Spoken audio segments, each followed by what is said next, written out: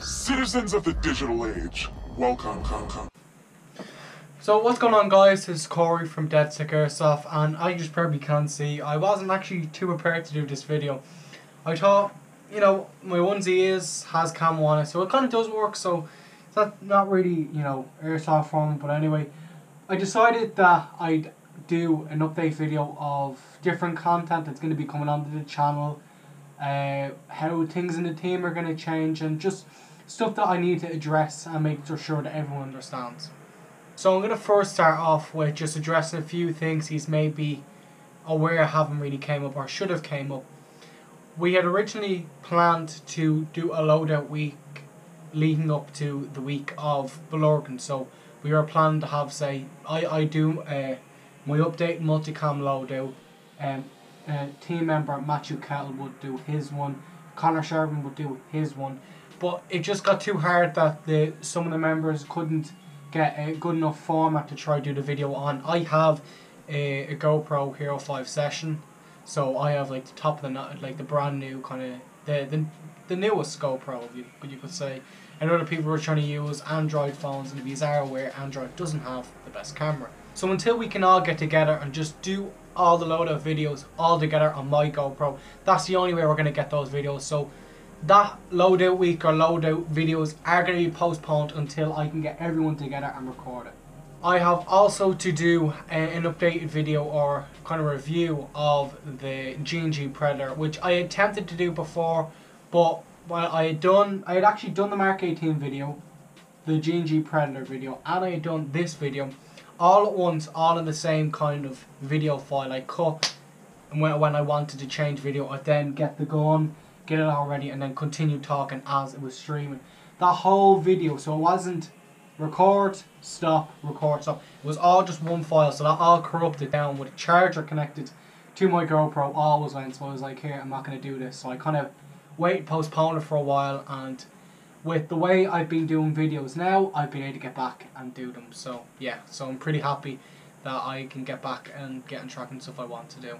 So yeah, as I have said, Predator video will be coming soon after me using it for 10 months and getting a good run of what it looks like. And I'll be doing, definitely doing the review again on the Mark 18. The reasonings I haven't been able to do this, as I've stated, I want to go into a little bit more detail now. I, from now of today, I am able to actually play Airsoft once a week. That schedule used to be every second week, so in the at the time of me recording this, I just went last week. Before I wouldn't be playing this week, I'd be playing next week, but now I can play every Saturday or every Sunday, whatever day I feel I want to go. So the content of uh, gameplay videos won't have to be stretched out so much. You have probably seen with the footage, I have to take say one day's of footage, try to do a whole game that I played, say the bomb game, make that entirely up, and if that wasn't a good game, put two uh, games we played in Sim Tac together for one video and then do another video because I knew I wouldn't be going to Airsoft in the next week. But now, as you've probably seen from the last upload, which was the gameplay, I can't think of the name of the video, that was the entire day of footage I've gotten over two hours of SD cards, or so they say. It says it records an hour, but I'm pretty sure it records a lot more. So all that footage you've seen was all the good footage I gotten from one day. So now when I go this weekend, I'll be able to get more footage, which I will upload next week. So this gives me a lot more time to think about doing, as I said, the Mark 18 video, the Predator video, and this video. So more videos like this will be able to come out much more frequently. Alright, the main purpose of this video I can now talk about.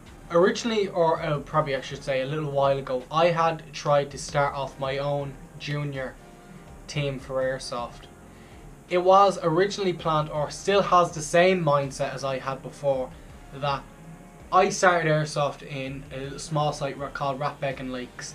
It's now shut down its airsoft side of the actual facility, the, the area it takes that Rathbeggan Lakes is in. There's like um, there's canoeing, there's like rock climb stuff. It's almost like a little small adventure park. But they did do airsoft, and that's where I used to play before I found Sim Tac Airsoft. But there, it was such a small kind of community of people, and it was such a small site that me only starting off, I was able to go out I was able to meet some great people who I still know today, and surprising, which I think is great. I started off admiring these people. I now play with these nearly on a weekend basis, which is something I'm really proud of. So they like the likes of I probably won't name because I haven't asked if I'm allowed to name, but a said person used to work there. He would kind of show me the ropes, explain how to do this, how to you know shoulder your weapon properly and all stuff that no one was teaching me, but someone took an insight and an interest into me in the sport and knew that I was the future of the sport and needed to make sure that I was leading a good example when I would show people as I want to do now. But since Airsoft has grown so big with, to be honest, I feel it's grown so big from the likes of Novritsch.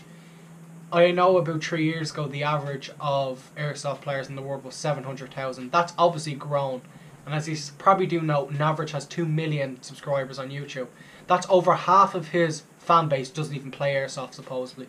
So it's such a big community now, so it's definitely much larger in this country. So, you know, you, you don't get that kind of mentoring kind of thing when you're going to a site and there's like 60, 70 people on average playing on a site and country I am saying, or level with people. That is why I set up DedSec Airsoft Junior. This team that myself and other members of my team are starting to mentor is based on younger players aged 11 to 13. 11 being the, the minimum age to play Airsoft in this country, to 13 to getting into that kind of adolescent age. DedSec Airsoft Junior is focused on making the players of tomorrow from the younger age. It's very hard for us to try get people of 15 and 16 onto the team because at that stage they don't really need that kind of more not superior I wouldn't say but that kind of older person look down because you're pretty much in the kind of same mindset you're still on the same level as them I talked to a 16 year old, me being 17. I'd speak to a 14, 15, 16 year old the same way I'd speak to a 19, 20, 21 year old because they're on that same kind of talkative level. They have that same kind of cop on to be able to have a conversation and then bring it back to you. But the likes of it, an 11 year old to 13 year old, they would, as myself, they would look up to older players and aspire to be them and want to be able to play like them. This is what Dead DedSec Airsoft Junior strives to complete. We strive to want to make the players of tomorrow as I've stated. This team is completely free as it should be. It's completely free to join. If you are interested and you have seen this video, please message me on my personal uh, Facebook account, Corey O'Kelly or Matthew Kettle, who was also helping me get this up and running. It is not just the two of us, the entire team is underway. To be honest, I'm not even going to take the credit for trying to revive DedSec Airsoft Jr. I have to give it to Matthew Kettle, who decided that this would be a good idea. I tried to get it going before and I kind of just threw it to the wayside because it wasn't working out. Matthew is trying to get this working again and I'm 100% behind him and helping him doing this. So, tip the hat to him. Also guys, before I wrap this up, I want to just ask, use a question on what I've spoken about. Since I've spoken about what I want to do with this channel, I need you guys to help me and give me some tips and stuff you want to see in the channel. If you can in the comments right now, just also just go down to the comments and try if you just want to help me, give me a schedule you'd like to see videos coming out so I could come up with every Monday uh, gameplay video comes out. Uh, Friday there's a kind of video like this, like a review or kind of an informational video. So on a Friday it could be how to use a radio correctly, how to fix a rucksack, like this style of bag onto your back for kind of recon games because you see a lot of people, I'm just going to give a quick demonstration, you're going to see a lot of people where they're going around and the straps are hanging off them with the bags everywhere. I could do a video of how you're supposed to set this up properly so it's comfortable and efficient for you. So that style of video I could do. If you want to see that, just give me some recommendations in the comments. Okay guys, I'm just going to wrap this video up and just wrap up what we spoke about today. As I've said, any recommendations you have for videos or stuff like that you want to see on the channel, please drop them down to the comments and obviously recommend some stuff. From now on, I'm able to play Airsoft once a week instead of every second week. So as of the 5th of October, the day i am recording this right now, I played last Sunday. Before I would have recorded a video as I said, try to get the best footage and make it into two or three videos. Now I, I don't need to do that. I know I'm most likely going to have a gameplay video every week. So I can put the best footage I got over the entire day, put it into one video and upload it. So as I said, if you just want to see a schedule of Monday for gameplay videos, Wednesday for gameplay videos, whatever, please give me them. Update on the Predator video, the Predator video, the Mark 18 video, and any sort of informational videos, as I said, you recommend me. Please give me your recommendations and I'll do them along with Mark 18 and the Predator video. I'm not too sure about the audience I do have for on this channel. I'm not too sure if I have people aged 11 to 13, but if you are in that age category, please send me a message if you do have social media on Corey O'Kelly or Matthew Kelly. The both of us on the team are trying to get this team off the ground again and trying to get it stable. So as I said, if you are interested, please message me. As I said, we strive to get this all kind of way of mentoring one-on-one -on -one with players. I should actually explain what we plan to do with DedSec Airsoft Junior.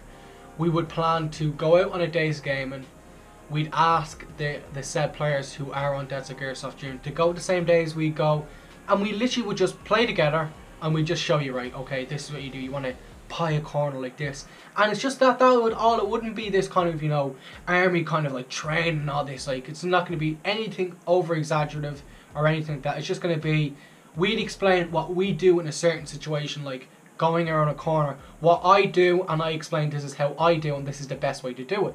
So that's pretty much what we do. If you are interested in that kind of learning on a day's gaming please message me or Matthew Kettle. But that's all I can really talk about, guys. Really hope you enjoyed this update video. But anyways, talk to you later, guys. And will give you the. Do what you will.